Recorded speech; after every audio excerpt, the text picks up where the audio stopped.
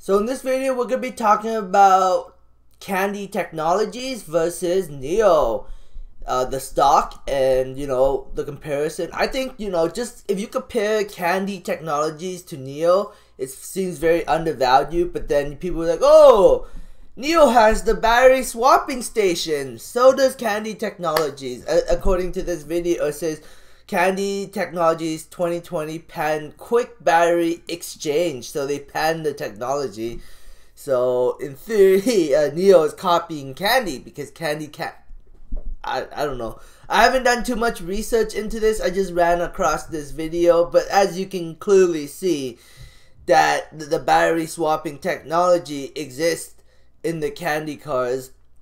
So not NIO is it's not just exclusive to NIO and uh, uh like unlike uh NIO, Kandi does their own manufacturing. So NIO relies on a third party to do the manufacturing. Kandi does their own manufacturing. So and then Kandi is now selling in the United States while NIO is not. NIO is not selling in the United States.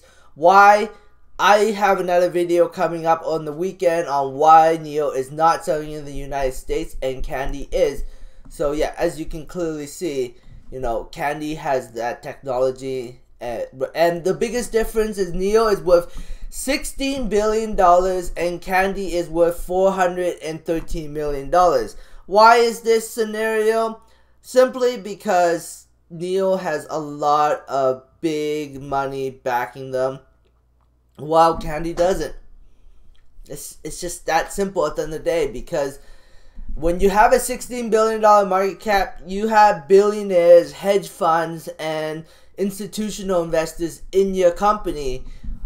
Maybe they see something in NIO that they don't see in Kandi. Kandi does have some lawsuits on it, but you, if you remember back in the past when NIO, uh, when NIO crashed all the way from, you know, ten dollars all the way down to a dollar. They were getting lawsuits on them. Why? Because they they canceled out their uh, factory. They were gonna build a factory and manufacture their own vehicles, and then they, they decided they didn't. They're not gonna do that, and they're gonna rely on third party. The stock crashed all the way down to a dollar fifty one. Now, you know, for some strange reason, uh, the stock is getting pumped up all the way back to 1377. So, yeah, I don't know at the end of the day what NIO stock's gonna do.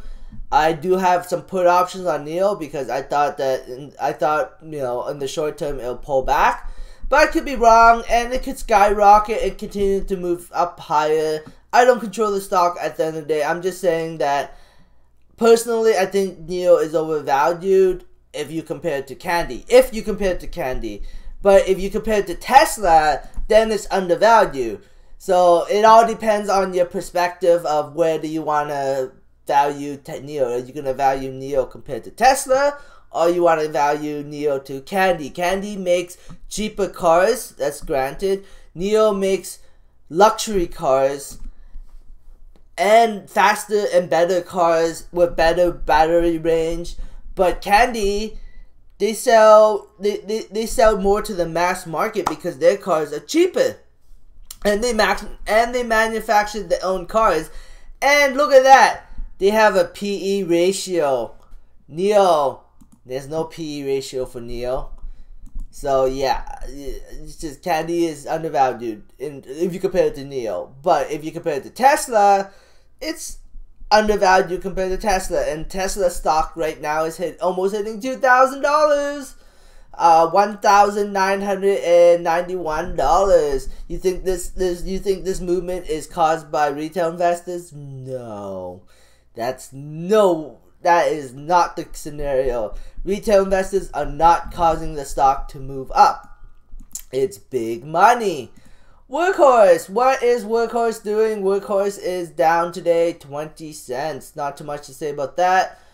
Uh, Workhorse is going to be volatile for a while until there's big news or until there's some random person pumps the stock or no random big money pumps the stock or shorts decide to cover the position.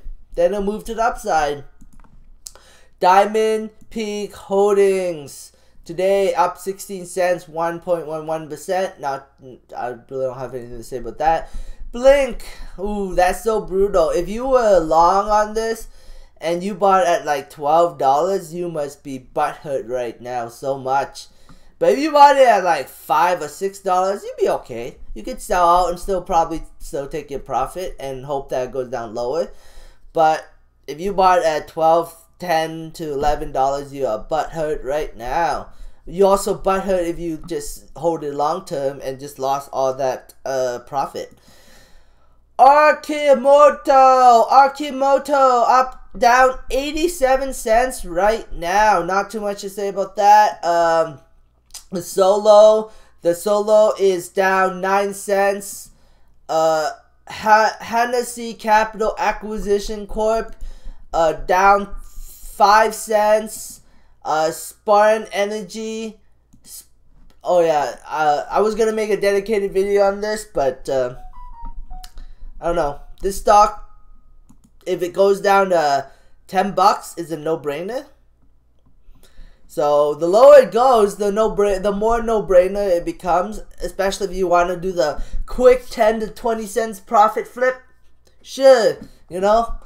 You can you can make away off like a bandit off ten cents, I guess. Man, uh, that wouldn't really be called bandit. A bandit would be like fifty percent, hundred percent return. SPAQ. Uh, the lower this goes, the no, the more no-brainer it becomes too. AVCO, Avalon Global Corp. Very volatile today. Don't know where the stock will go, but the uh the lower it goes, the better, uh, the safer it becomes, in my opinion only. You can also swing trade it because it's a penny stock. It's up to you what you want to do. The volume was uh, decent today. It's uh, 1 million shares traded. Not as good as yesterday, but still decent. Uh, there's this again. A AMD, AMD popping today. Popping a dollar sixty four. Not too much to say about that. Intel, Intel is down today. Nvidia is what? Is, why? Uh,